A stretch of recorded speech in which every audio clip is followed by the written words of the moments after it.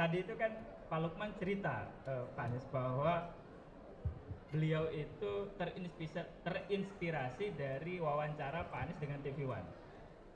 Judulnya itu itu, jangan remehkan kata-kata. Nah dari situ lalu beliau berinisiatif untuk bagaimana mengumpulkan, nah, mengumpulkan dan beliau lalu ngontak kami, saya dengan eh, Mas Fasin untuk mengumpulkan itu. Nah kami lantas memilahnya itu dari ratusan jam eh, wawancara beliau, Wow. baik eh, visual, eh, audio, visual maupun eh, apa namanya teks. gitu ya. Banyak dong Mas ya. Ya, itu prosesnya kalau bisa dibilang berapa ya? Sejak itu ya mungkin itu kan wawancara Bapak itu 2016 2017. I- wawancara itu. Idenya lalu kemudian memantik Pak, Pak Lukman dan kemudian kita proses. Berapa tahun berarti, Pak? nah, lalu kemudian kami proses itu, kami pilah satu-satu dan kami temakan dengan yang benar-benar menggerakkan. Kenapa menggerakkan? Karena banyak orang mengasumsikan bahwa sebuah kata itu jarang bermakna, padahal tidak. Contoh misalnya, itu di situ eh, jelas bahwa mendidik adalah tugas negara, tetapi eh, saya lupa itu ada banyak ya. Nah ini kan mengge Pak Anies mohon koreksi nih. Saya juga jadi pengen baca. Ngomong-ngomong Bapak udah lihat bukunya belum Pak? Itu dia.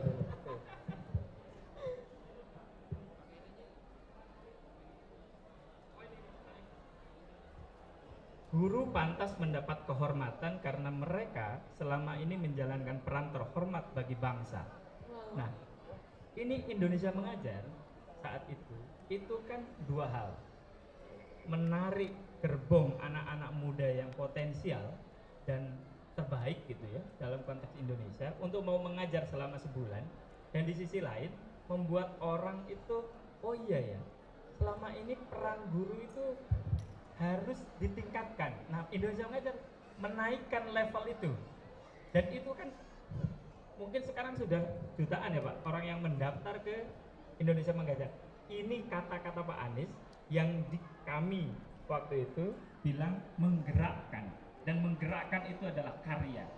Wow, Masya Allah. Jadi kalau ada orang bilang kata-kata tidak bermakna, mungkin dia tidak pernah melihat atau tidak pernah menyadari betapa kata-kata itu punya peran penting dalam apa pun. Nah, Pak Anies dalam buku ini kan memilah, Pak. Temanya yang menggerakkan dan hampir semua dalam buku ini memang pernah bukan pernah, memang memiliki eh, kaki. Tadi Pak Lukman bilang bahwa ide itu punya kaki dan kakinya banyak, bisa dilihat dan kita bisa melihat kaki-kaki itu eh, bahwa Pak Anies bukan cuma berkata-kata tapi juga berkarya. Kira-kira itu. Ya Allah, tepuk tangan dulu buat Mas Upil. Makasih ya Mas, atas kerja kerasnya kami semua jadi bisa menikmati buku ini dan jadi bisa ikut tergerakkan oleh kata-kata Pak Anies. Tapi Pak, sebenarnya saya tuh salah seorang yang dari dulu tuh sangat tergerak dengan kata-kata Bapak. Banyak banget. Jadi waktu itu izin cerita sedikit, saya kuliah dan kerja di Malaysia. Terus Hmm. ada senior saya yang uh, one of the best Indonesian student, dia daftar jadi pengajar muda di Halmahera Selatan. Saya bingung banget Pak, ngapain dia jadi guru SD di pelosok padahal dia berbinar banget karirnya di animasi. Dan pas saya pulang, saya diajak ke kantor Indonesia Mengajar, saya ngobrol dengan uh, Pak Haha, Bu Evi dan lain sebagainya. Saya jadi ngerti kenapa teman saya sebrilian itu bisa tergerak untuk ikut terjun ke segala penjuru Indonesia untuk apa ya? Untuk bisa em, ini ya memberikan dampak dari aksi-aksi kecil yang dilakukan dan em, wah itu benar-benar eh, jadi salah satu em, energi aktivasi saya untuk saya lebih peduli. Jadi ada em, salah satu kata-kata bapak yang menurut saya itu berdampak sekali, yaitu kebaikan itu menular dan itu yang kerasa banget Jadi jangan pernah lelah untuk berbuat baik, jangan pernah lelah untuk apa ya?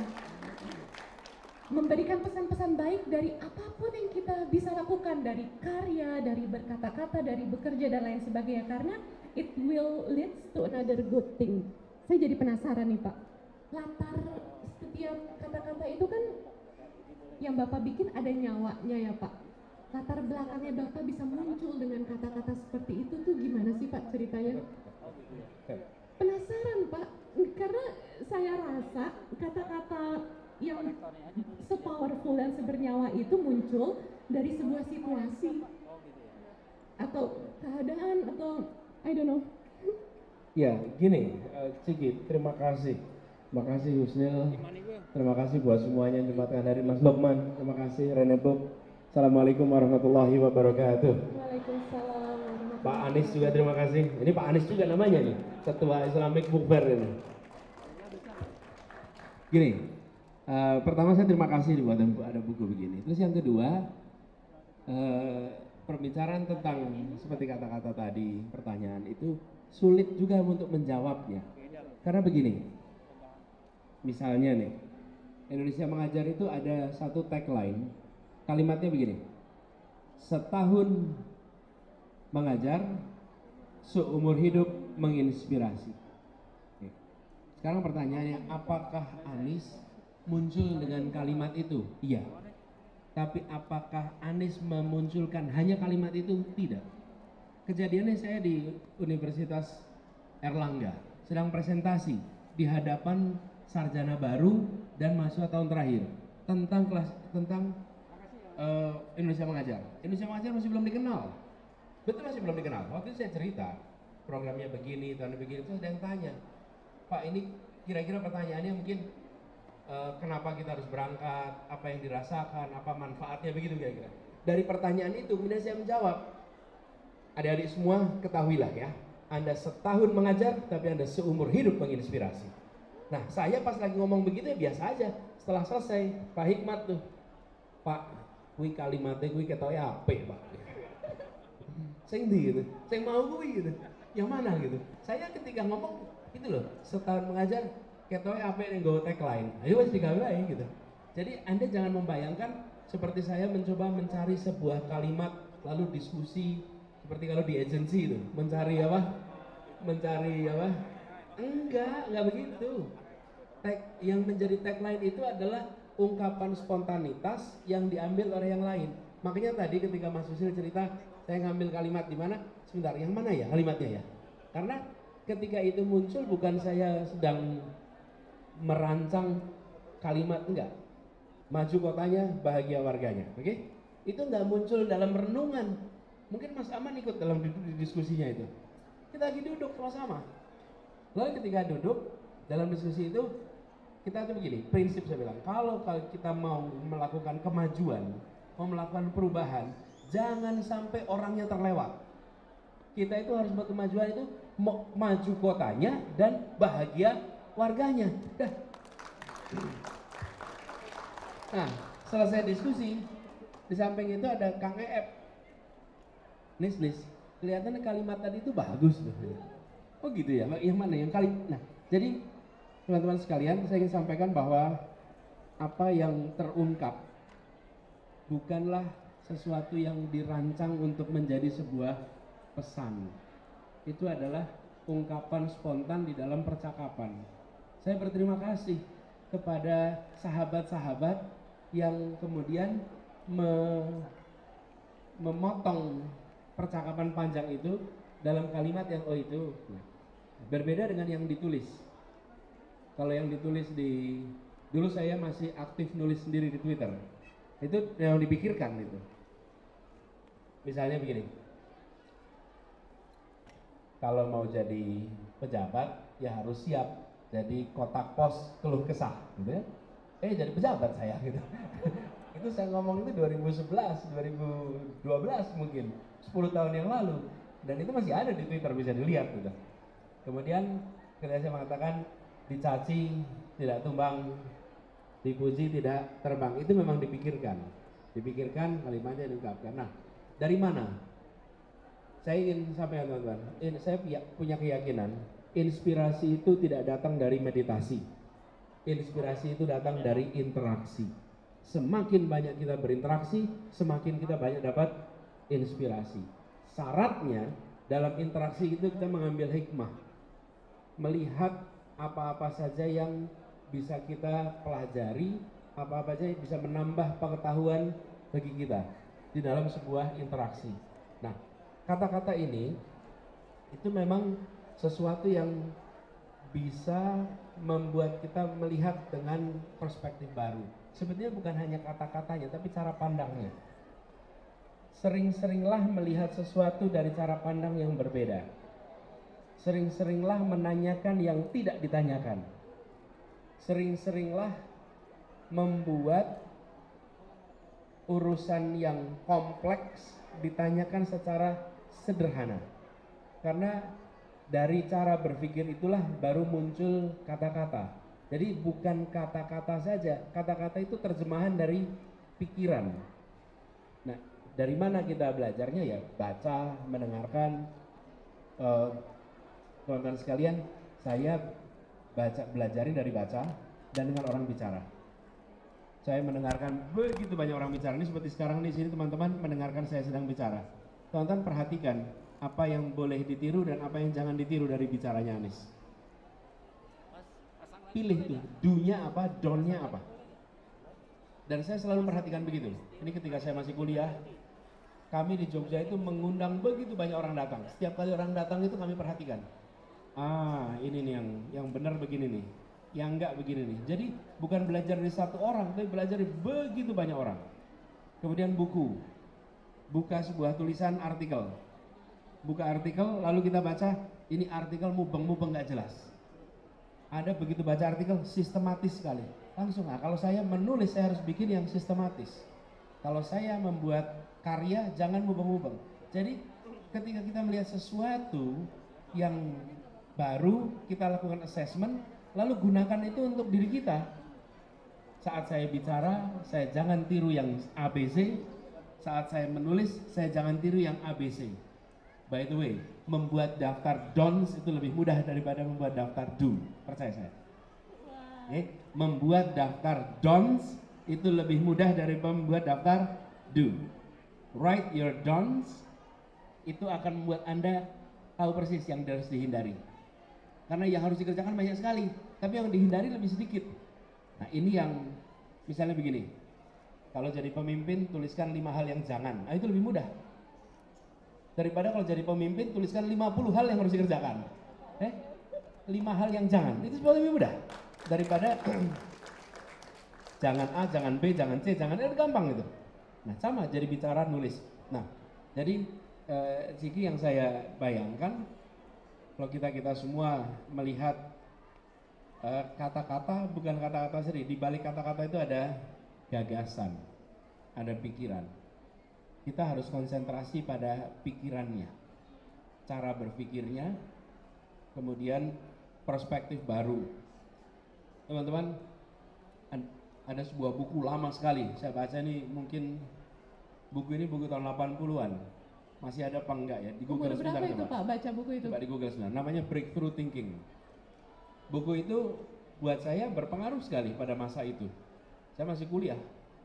Breakthrough Thinking udah gitu zaman mahasiswa nggak beli pula fotokopi kita mohon maaf para penerbit jadi kami waktu itu di Jogja beli bikin fotokopiannya walaupun covernya seasli apa sebagus aslinya gitu kira-kiranya tapi buku Breakthrough Thinking itu memancing pada saya ini untuk melihat bagaimana selalu mencari sudut pandang baru dalam urusan apa pun.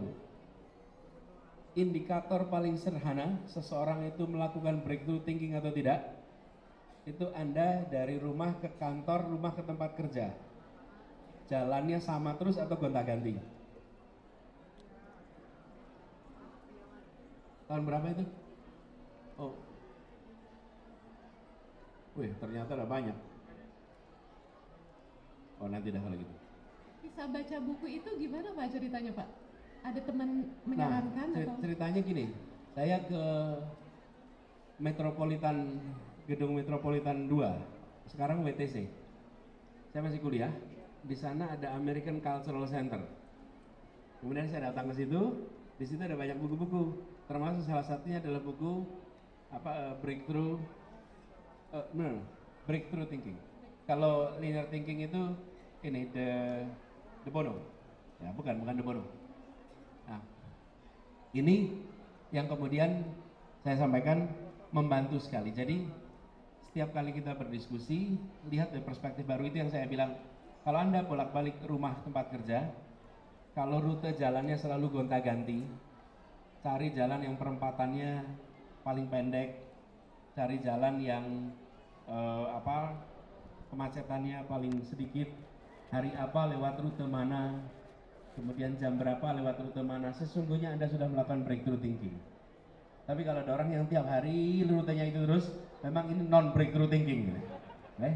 Berarti rutinitas bikin Iya. Apa nah, sebenarnya? selalu berpikir cari apa yang nah apa ya kalau bahasa kita banyak akal gitu ya kira-kira. Mungkin gitu Ciki. Oke. Kalau ada pertanyaan berikutnya semuanya. Kalau enggak saya ngomong terus nanti. Saya sebenarnya penasaran nih Pak, mungkin ya Pak ada habit-habit Bapak dari kecil yang bisa kami adopsi. Habit kebiasaan literasi Bapak dari kecil. Siapa tahu bisa kami adopsi supaya kami pinter kayak Bapak gitu Pak. Kan saya yakin yang datang ke sini juga pengen bisa sepinter Bapak. Ya. Ini sebenarnya saya ini nggak pinter, bu- bukan pinter gitu ya, tapi kami ini saya selalu mencoba untuk lihat dari perspektif baru aja terus. Hmm. perspektif baru terus. Eh, baca ketemu orang lalu selalu mengambil hikmah dari setiap yang dibaca setiap yang ditemui. Itu menurut saya yang paling kunci. Dan mau terbuka mendengarkan. Mau terbuka melaksanakan yang didengarkan. Jadi kalau mendengarkan sesuatu menarik follow up jangan diam follow up jangan diam Eh, kakek saya itu pernah memberikan sebuah nasihat. Saya sedang duduk di teras di depan rumah, lalu dia beliau memberikan pesan, jangan duduk diam. Kalau duduk harus baca, Oh, berarti jangan duduk diam. ya? Tapi kalau duduk harus baca. Baca. Jadi jangan duduk diam di teras gitu, ngapain? Jangan. Kalau duduk jangan duduk diam, tapi Harus duduk sambil baca. Dan itu saya ingat terus kemudian, karena beliau adalah pembaca dan beliau adalah penulis. Nah ini yang juga saya boleh sampaikan, baca terus, apa pun itu. Nah tantangan kita sekarang ini kita tidak membaca, kita scanning. Lihat WA grup, habis itu lupa WA yang mana yang tadi dibaca. Saking banyaknya grup, sampai lupa tadi fotonya di sebelah mana ya dari yang semua. Jadi dari reader menjadi scanner, ini yang menurut saya harus kita Jadi itu seperti apa tuh Pak kalau lebih dielaborasikan dari reader menjadi scanner? Ya, misalnya begini, dengan adanya informasi yang membludak, maka potensi kita untuk melakukan refleksi atas yang kita baca itu menurun. Kita cenderung untuk membaca cepat, membaca ringkas. Itu tidak masalah sebenarnya, baca cepat, baca ringkas. Tapi reflektifnya jangan hilang reflektif, imajinatif itu jangan hilang. Jadi ini yang menurut saya harus ditumbuhkan. Jadi kalau sekarang kita banyak sekali banjir informasi, tetap gunakan untuk reflektif, tetap gunakan untuk imajinatif. Ya. Oh, Masya Allah. Pak, salah satu hal lagi yang saya kagumin ya Pak. Jadi eh, saya baca banyak kata-kata Bapak, ini banyak yang fokus ke hal-hal positif. Seperti anak muda menawarkan masa depan. Dari sekian banyak orang-orang yang mohon maaf suka memandang setengah kepada anak muda, tapi Pak Anies memilih untuk percaya terhadap anak muda yang membawa perubahan dan lain sebagainya. Lalu saya jadi teringat nih akan sesuatu. Bung Karno pernah berkata, berikan aku 10 pemuda dan aku akan mengguncang dunia. Padahal pada saat Indonesia merdeka itu masih banyak orang-orang yang nggak bisa baca, 96% ya Pak ya. Tapi Bung Karno pun memilih untuk fokus kepada hal-hal positif. Ya, ya. Itu salah satu yang saya pernah saya bayangkan tuh. Ketika soal anak muda. Anak muda ini punya lebih banyak besok daripada kemarin. Jadi kalau ditanya berapa jumlah besoknya dengan jumlah kemarinnya, insya Allah anak muda punya lebih banyak besok dibandingkan kemarin, insya Allah. Karena mereka masih generasi baru. Nah, tantangannya adalah kalau orang kemarinnya itu masih sedikit, masa lalunya masih sedikit, artinya perjalanan hidupnya masih pendek. Kalau perjalanan hidupnya masih pendek, berarti pengalamannya masih sedikit. Nah, saya ingin melihat dari perspektif lain. Justru dengan anak muda yang perjalanannya pendek itu, dia bisa muncul hal-hal baru yang orang lebih tua tidak lihat. Orang tua nggak lihat. Orang tua itu misalnya saya contoh nih. Ada zebra cross. Orang tua lihatnya tempat penyeberangan jalan, anak muda tempat catwalk. Iya juga ya. Siapa pula yang melihat ini sebagai catwalk? Tapi kan kalau orang tua lihat ini cuma ini jalan penyeberangan dipakai catwalk gitu. Nah itulah yang namanya kebaruan. Terus ketika sudah dipakai dia bilang, wah kenapa nggak ada kemarin-kemarin ya kita pikir begitu. Nah iya ya gitu. Nah itulah anak anak muda dia punya perspektif yang beda. Nah sering kali karena perjalanannya masih pendek dianggap tidak berpengalaman, dianggap kalah dengan yang sudah lebih ber muda tua dalam artian biologis nggak bisa ditandingin. Ciki sampai kapan pun tidak akan bisa mengalahkan usia saya, Ciki. Nggak bisa. Mau berlomba dengan cara apa pun nggak bisa. Terus Ciki sampai kapan pun akan kalah sama Anis? Tidak lah. Usia biologisnya memang tidak bisa ditambah. Tapi usia intelektualnya Ciki bisa lebih maju. Usia psikologisnya Ciki bisa maju. Pak. Jadi usia mentalnya bisa lebih cepat. Nah, jadi saya pernah berikan analogi apa ilustrasi begini. Karena saya jadi ada ceritanya nih. Saya pulang dari Amerika, pulang kerja di sini, nyetir sendiri. Kira-kira 6 bulan, 8 bulan, itu habis itu baru punya supir. Di awal itu memang tidak mau punya supir karena tidak ingin punya driver sederhana. Nggak tega disetirin, karena bertahun-tahun itu nggak pernah disetirin. Jadi disetirin itu rasanya kayak sesuatu yang nggak pas. Akhirnya dengan kemacetan di Jakarta, give up juga. Harus disetirin, nggak mungkin tuh parkirnya dan lain-lain. Disetirin. Nah, lalu saya melakukan rekrutmen kan atas driver. Saya, saya ini ketika di Jakarta, tinggal di Jakarta, pakainya peta. Di mobil saya ini ada peta. Ke mana pun saya buka peta. Wong saya orang Jogja, ke sini kan buka peta ke mana pun mau pergi mana lihat Pak. Ya, dan itu membantu sekali saya selalu cari rute-rute saya punya gambar jalan tikus yang barangkali lebih banyak daripada orang yang sudah lebih lama di Jakarta hanya karena saya buka peta terus setiap mau pergi ke mana pun petanya masih ada sampai sekarang. Nah waktu saya wawancara pengemudi ada yang sudah empat tahun ada yang sudah 8 tahun enam tahun.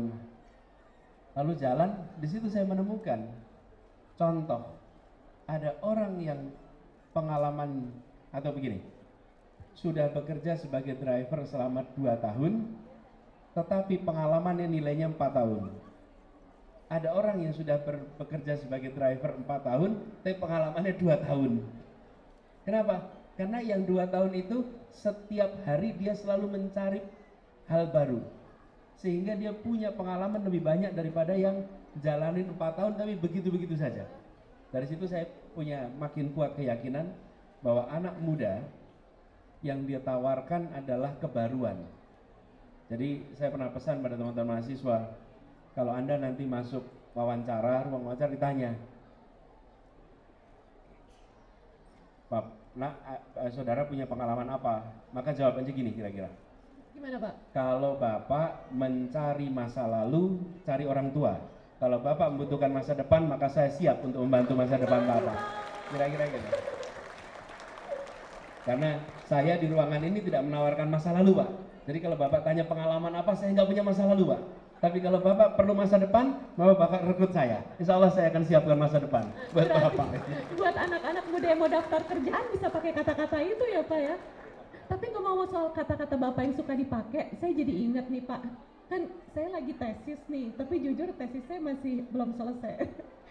Ada salah satu dosen saya, eh, juga dosen di UGM, bilang, kata Pak Anies, Pak Anies pernah bilang skripsi yang baik adalah skripsi yang selesai.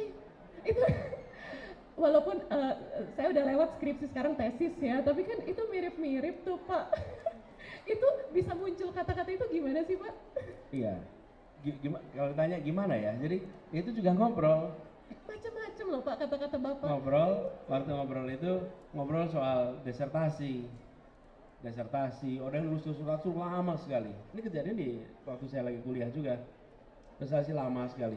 Pikir-pikir desertasi itu untuk apa ujungnya? Kan untuk selesai. Iya Pak. Untuk selesai. Jadi waktu itu saya ngobrol sama teman, what is a good dissertation? Gitu.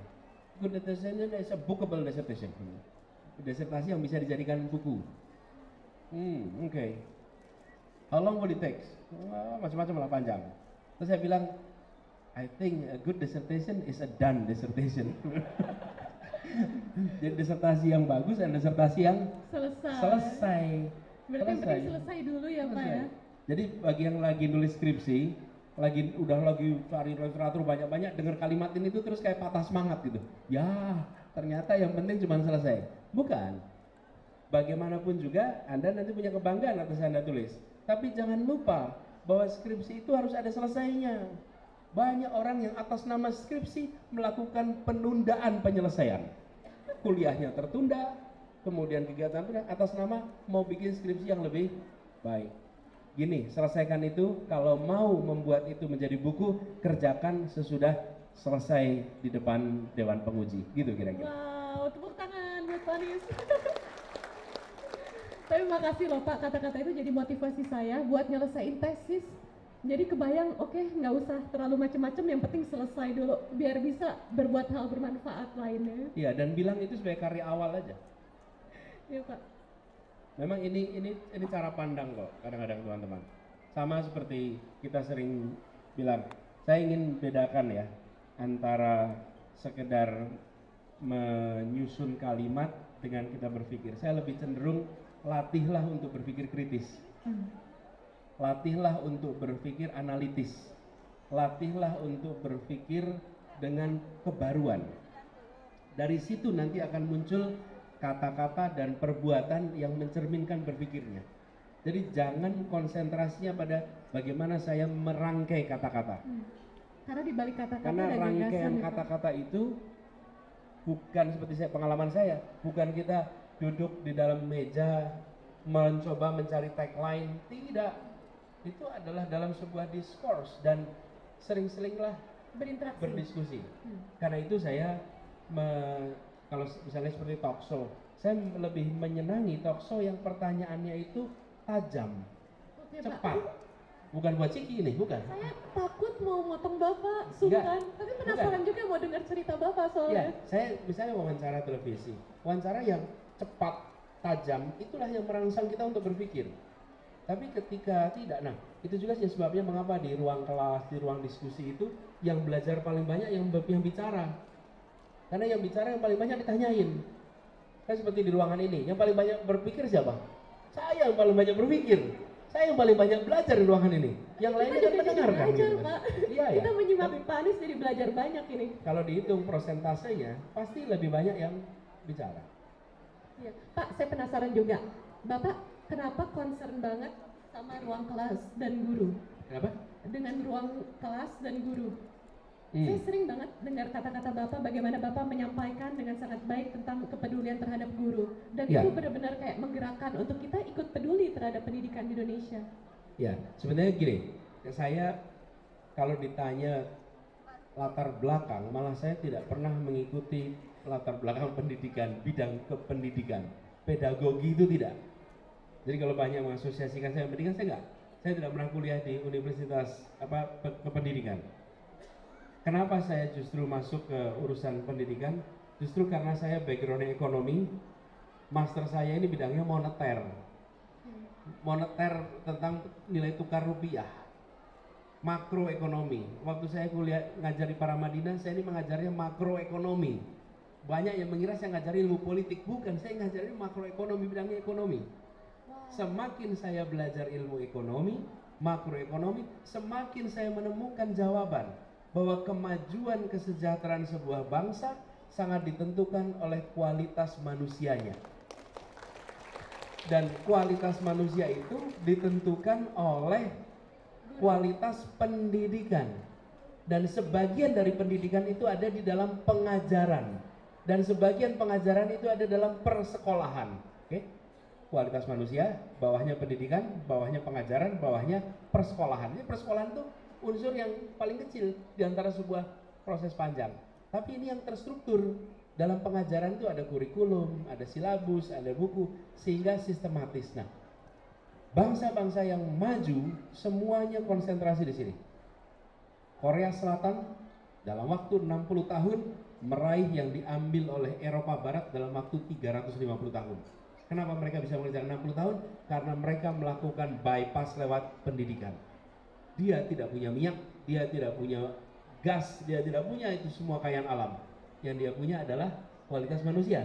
Dari situlah muncul kalimat kesimpulan saya, kekayaan terbesar bangsa Indonesia adalah manusia Indonesia. Itu kekayaan terbesar kita. Nah, tapi perhatikan lagu-lagu kita. Lagu-lagu kita ini memujinya alam semua. Coba lihat. Lagu-lagu kita. Coba Anda perhatikan lagu tentang Indonesia. Pujiannya apa? Nyur melambai, alam yang indah. Mana pujian pada manusianya? Satu-satunya yang secara serius memuji manusia itu namanya lagu Ibu kita Kartini. Nah, yang lainnya kita puji alam semua. Kita ini mengglorifikasi alam dan melupakan kekayaan terbesar bangsa kita. Tapi kekayaan ini semuanya sifatnya potensi. Teman-teman yang duduk di ruangan ini, yang berdiri di ruangan ini. Ini terdidik semua insya Allah. Insya Allah terdidik semua, betul kan? Kalau tidak terdidik, mana pula ke book fair? Cek. Tiga generasi, dua generasi di atas Anda melek huruf atau buta huruf? Hampir pasti buta huruf Latin, hampir pasti. Cek dua generasi, tiga generasi, pasti. Kenapa? Lalu 96% penduduk kita itu buta huruf Latin kok. Tahun 45 itu 96% itu buta huruf. Anda merasakan bukan peningkatan kualitas hidup karena pendidikan? Yang membuat Husnil duduk di sini, saya di sini, Ciki di sini, kan bukan latar belakang orang tuanya, tapi pendidikannya apa, bukan? Yang membuat bangsa Indonesia akan berada di mana di konstelasi dunia adalah kualitas pendidikan yang dimiliki oleh bangsa ini. Pasti. Jadi saya melihat kenapa pendidikan jadi penting untuk maju. Lihatlah negara-negara penghasil energi, mereka kaya raya, rumahnya mewah, pemerintahannya pun tidak perlu demokrasi. Kenapa? Warganya nggak bayar pajak, pemerintahnya per uangnya dari sumber daya alam. Apakah mereka jadi contoh kemajuan dunia? Tidak. Mereka menjadi importir kemajuan dunia. Mereka jadi importir kemajuan dunia. Jadi yang mereka bisa lakukan adalah beli hasil pikiran orang lain. Tapi mereka tidak menghasilkan. Itu sebabnya kenapa penting bagi kita untuk meningkatkan kualitas manusia. Nah, di situlah kemudian saya bicara pendidikan. Nah, daripada bicara pendidikan sebagai pengamat, lebih baik berbuat. Untuk berbuat, buatlah dengan Indonesia mengajar. Karena cita-citanya, saya bercita-cita begini kira-kira. Kalau hanya saya sendiri yang peduli soal pendidikan, maka saya hanya menjadi satu dari sekian belas ratus orang mungkin yang terus-menerus menulis soal pendidikan. Tapi kalau saya rekrut anak-anak muda terbaik, dikirimkan ke pelosok menjadi guru selama satu tahun, lalu sesudah itu mereka justru masuk ke private sector dan menjadi pemimpin-pemimpin di private sector, maka kita akan punya pionir-pionir pendidikan yang peduli pada pendidikan karena pengalaman pribadinya di sektor-sektor strategis Indonesia masa depan. Karena itulah kemudian rekrut mereka biarkan ke ke desa dan ingat boleh dicek kalau mereka pada pulang. Saya selalu katakan pada mereka, Anda punya pilihan tiga sektor. Sektor pertama pemerintahan, sektor kedua swasta, Sektor ketiga adalah ya biasa disebut sektor ketiga. Ada universitas, ada NGO dan lain-lain. Dan di situ saya sampaikan masuklah ke private sector, jangan takut. Karena kita membutuhkan di private sector pemimpin-pemimpin yang kompetensinya itu world class tapi hatinya grassroots, pengalamannya grassroots. Jadi tujuannya adalah untuk membuat agar yang peduli pada pendidikan bukan hanya orang di kampus, bukan hanya orang di dunia sektor ketiga, tapi di sektor kedua, sektor private. Gitu kira-kira. Masya Allah. Tepuk tangan buat Pak Anies. Pak, sebelum ini berakhir, saya ada pertanyaan Pak. Kan em, saya tuh akrab dengan istilah pelibatan publik ya, kalau mendengar tentang Pak Anies, tentang relawan, pelibatan pu- publik dan hal-hal yang berbau dengan kayak publik itu harus menciptakan kebaikan yang kolosal bersama-sama. Itu tuh sejarahnya gimana sih Pak? Bisa terjadi pemikiran seperti itu? Gini, ini refleksi lagi. Sama seperti soal pendidikan itu refleksi. Eh, kami kebetulan, kalau teman-teman perhatikan ya, semua peristiwa yang terjadi hari ini itu eh, kalau dalam ilmu sosial ada istilahnya path dependence. Path dependence artinya peristiwa yang terjadi sekarang terkait dengan peristiwa yang terjadi sebelumnya dan sebelumnya. Jadi ada ada path dependence. Nah, saya suka baca sejarah dan menikmati membaca cerita itu lalu lagi-lagi ambil hikmahnya. Terus saya perhatikan bagaimana Indonesia ini dulu bisa merdeka karena para pemimpin-pemimpinnya itu mengajak semua untuk bergerak bersama dan pesannya pesan-pesan yang membuat mereka mau kalau sekarang namanya kolaborasi kerja bersama Iya. jadi kalau bahasa kita namanya gerakan. Misalnya Indonesia sudah baru merdeka, diajak semua untuk yuk kita turun tangan, yuk kita mem- mem- apa ya, menjaga republik ini bareng-bareng. Pesan-pesan kebersamaan itu kuat sekali. Itulah yang saya sering sebut sebagai gerakan dan pelibatan publik. Nah, sesudah pemerintah itu makin tumbuh berkembang, punya anggaran sendiri, ada yang terdidik, makin hari pemerintah makin tidak melibatkan publik. Makin hari pemerintah makin mengerjakan semua urusan sendirian. Kenapa? Dia sudah punya sumber dayanya semua. Uang pajaknya ada, orangnya ada, infrastruktur ada, birokrasi ada. Akhirnya publik dibiarkan menjadi penonton, bayar pajak, nyumbang kritik dan saran dan nyoblos soal pemilu. Tapi nggak usah berbuat apa-apa, biarkan pemerintah yang berbuat. Sementara bangsa ini ketika awal kemerdekaan dan perjalanannya selalu dibangun dengan gerakan.